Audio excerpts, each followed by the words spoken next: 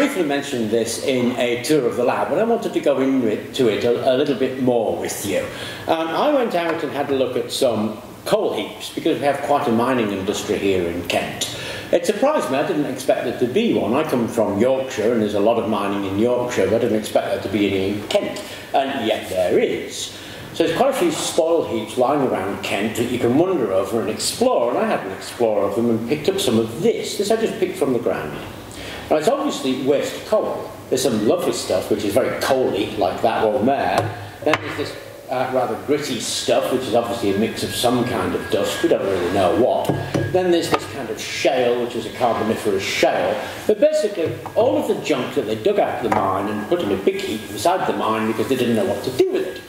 Now, we've been mining in England for hundreds of years, so some of these heaps are massive. They're really, really huge. They're hundreds of feet tall and they're thousands of cubic meters of this stuff just lying around. It's, it's a waste product. It's a waste product from the mine. And the other thing about coal, obviously, is it's a dying industry. Nobody really wants coal to burn because it throws a lot of CO2 into the air and everybody thinks it's dirty and it's a dangerous business. So mining coal is becoming a dying industry, and there's a lot of waste from the previous mining lying around.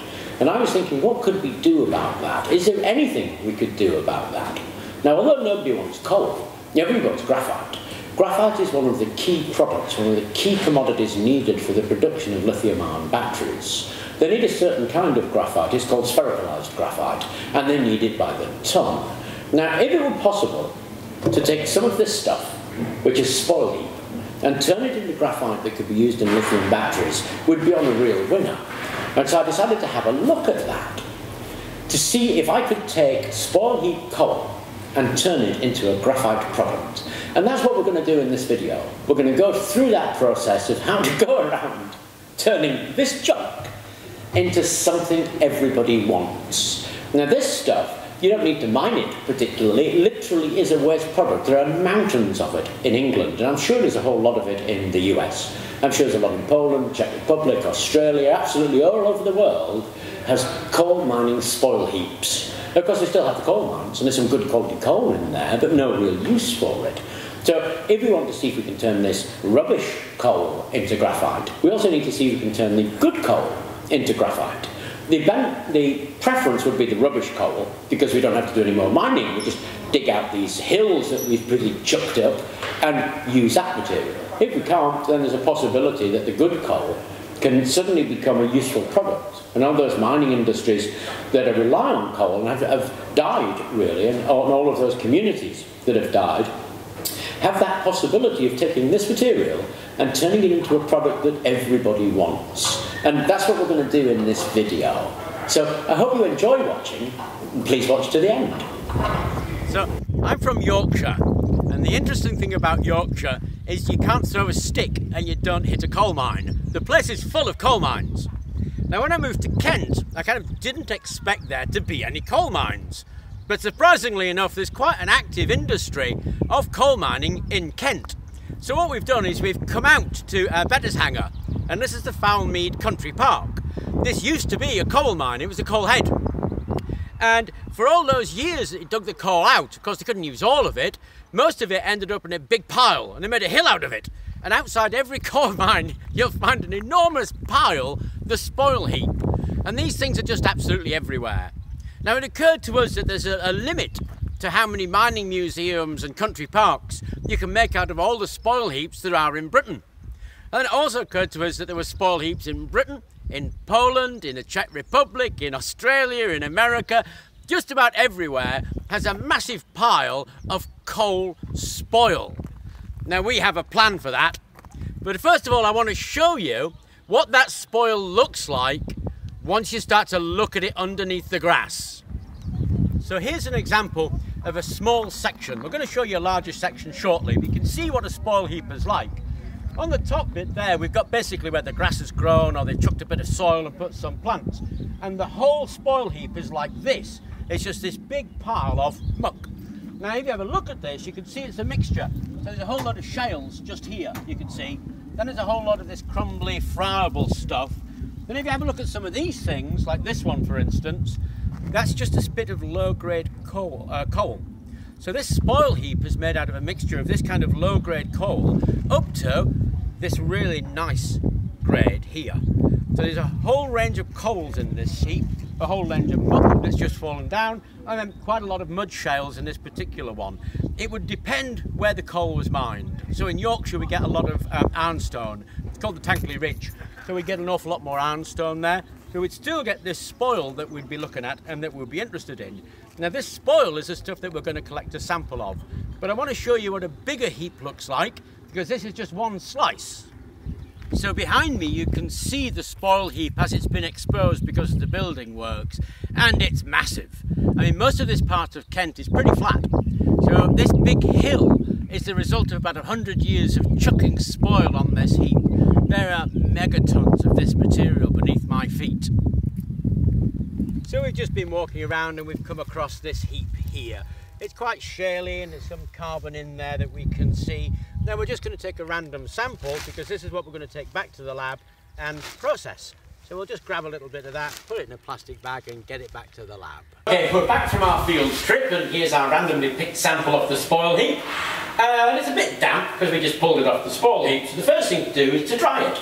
And we'll give it a couple of hours in the vacuum oven and that should dry that out nicely. Now obviously we're quite lucky in that we've got a vacuum oven. So we set that to 80 degrees and we'll give that a couple of hours and that should dry that out nicely.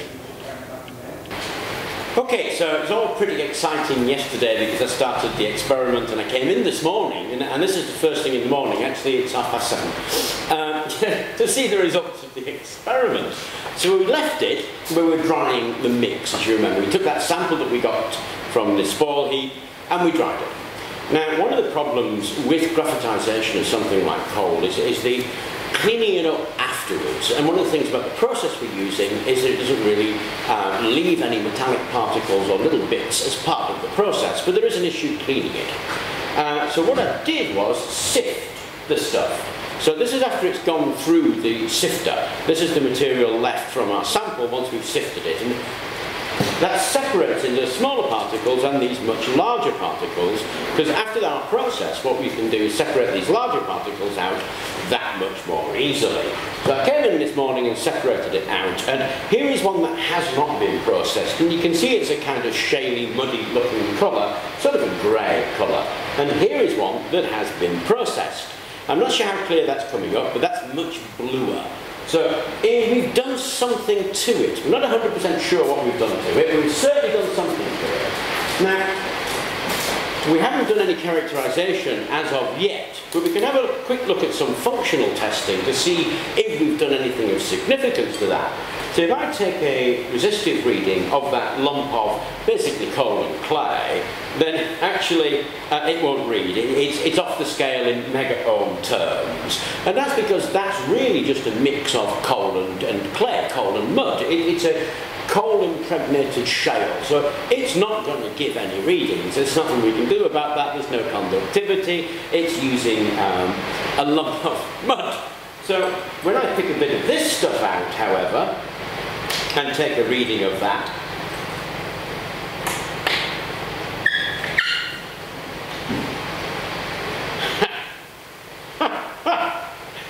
that is awesome. Absolutely awesome. So it goes from no reading whatsoever to that. Now that's reading kiloohms, so it's 0.6 of a kiloohm. Now you've got to ask yourself, what the hell have we done? Put no metals in here. So the responsibility of that conductivity cannot be down to the metals. It might be down to some kind of change of the uh, mud that's in there. We might get metals out of the mud, I suppose. Um, sort of a reduction, because there's certainly nothing in there. That red, remember, in, so high I couldn't read it. In here, we're getting such a low reading. So there's only a couple of options. Now, one of them could be the carbon content on it here has been changed from an amorphous carbon to a graphitic carbon. That would certainly explain what's going on. So we have highly likely graphitized the carbon in there. As I said, the other thing might be that the mud constituents have been reduced to give a metallic particle. We're not 100% sure. We do know that we've changed the absolute non-conductive shale, uh, coal shale, into this very conductive material. What we need to do is send that off for characterization. But it is awesome. I mean, we've, we've just been able to take mud off the ground and change it into a conductive carbon. Now, we think it's graphite. It looks graphitic.